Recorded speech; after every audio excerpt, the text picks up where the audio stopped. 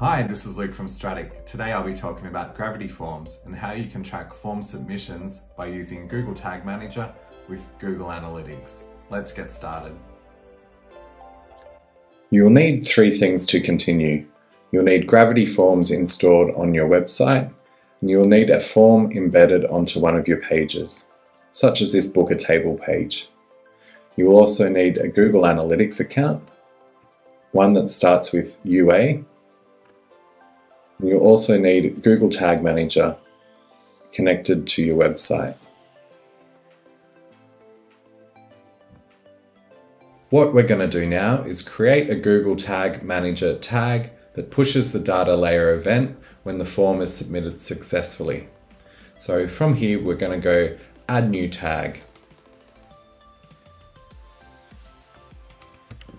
We're going to name this tag gravity form submission. Then we're going to configure the tag we're going to choose custom HTML. We're going to paste in the JavaScript, which is available on the Strat Strattic tutorial. Uh, there will be a link below if you need that. And we'll select the triggering. We want to trigger this on all pages. What this does is listen for the Strattic form success event that fires into the data layer gravity form submission.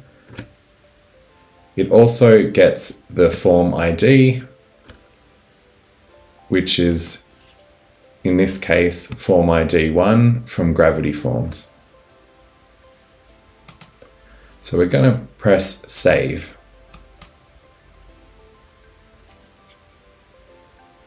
Next, we're going to create a trigger.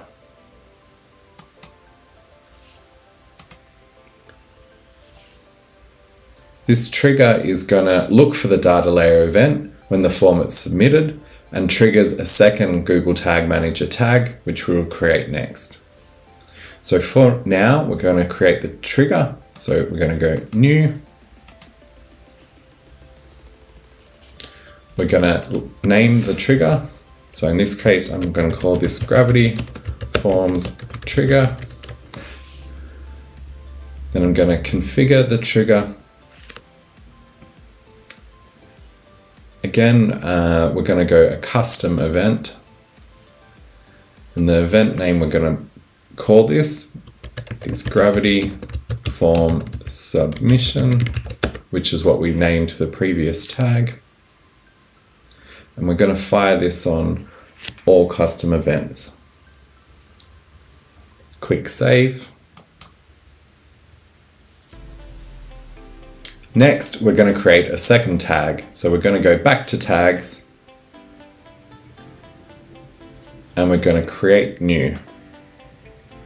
So this second tag looks for the data layer, push, and creates a Google Analytics event.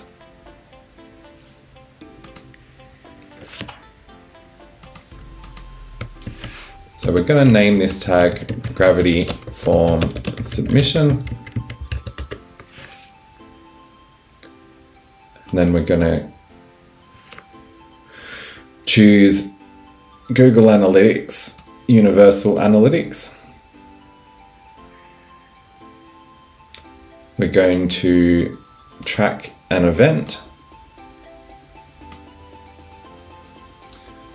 For category, we're going to enter contact dash form. The action is going to be GF successful form submission.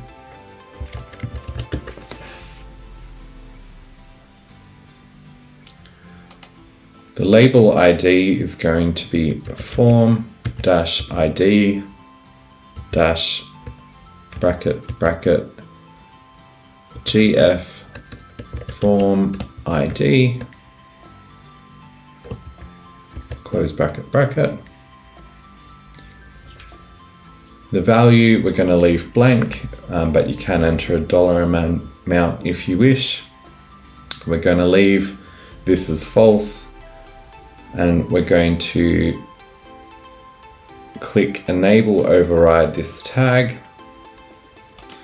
And in the tracking ID this is where we're going to put our Google Analytics UA code. So if we go to admin on our Google Analytics page we can just copy it from up the top here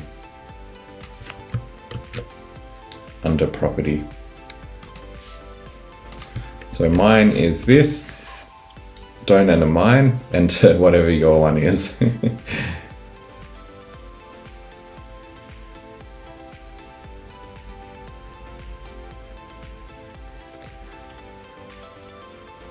For triggering, we're going to select Gravity Forms Trigger. Once all that's complete, press save Next, we're going to create a form ID data layer variable so that we can capture the Gravity Forms form ID. So from the left-hand menu, we'll go variables.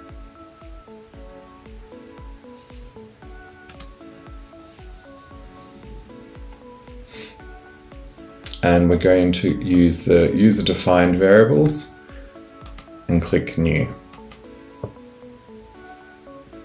First, we're going to name our variable. I'm going to name, name mine gf form ID. Then I'm going to configure it. This time I will press data layer variable. And I'm going to enter the name gf form ID. Now this is case sensitive, so make sure um, ID is capitalized.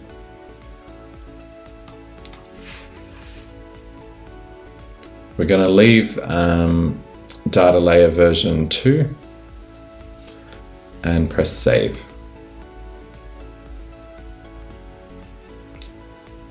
So now in our workspace we'll have uh, four new changes um, and we want to submit those changes so that they're live. So press submit press publish. Here you can add a description of the changes you've made if you so wish. I'm just going to press skip.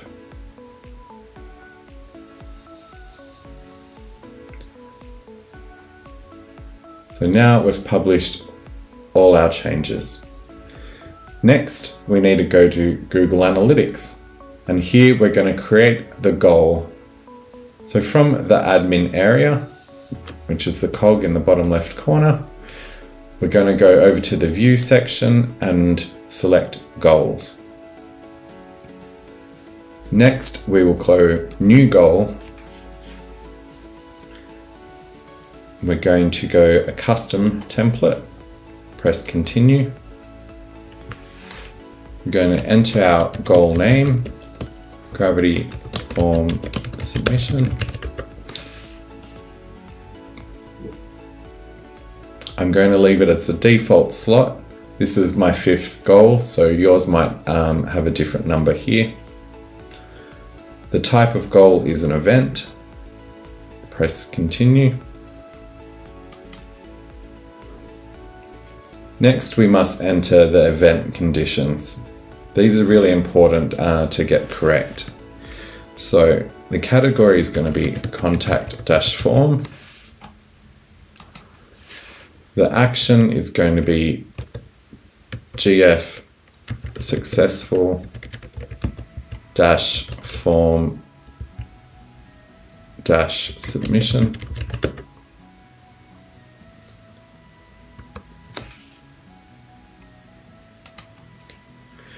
The label is going to include the form ID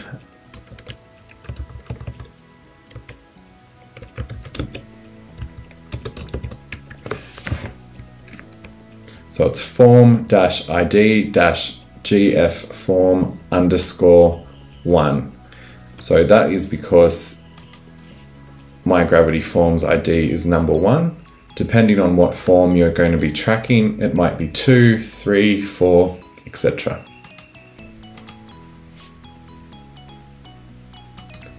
I'm going to leave value blank, but again, you can enter a dollar value there if you wish. Leave this as ticked yes and press save. So from here, I've only got the one form, so that's all I need to do. If you want to uh, track more forms, you could create further goals, just remembering to enter in the correct form ID in the label section. Let's test it. So on our website, I'm going to submit the form I don't have any validation on here, so I don't need to fill it out. Uh, but you'll see that the form has been successfully submitted.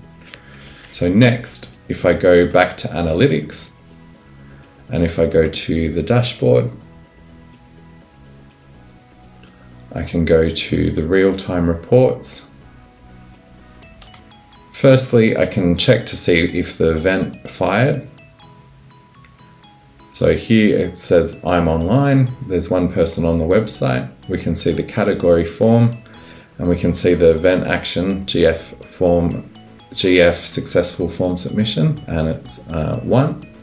And if I head over to conversions, um, you can see we've got our gravity form submission, which is our goal, and it's got one conversion.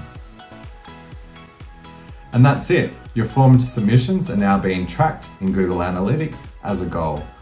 Please check out the links below for further information. If not, I'll see you next time.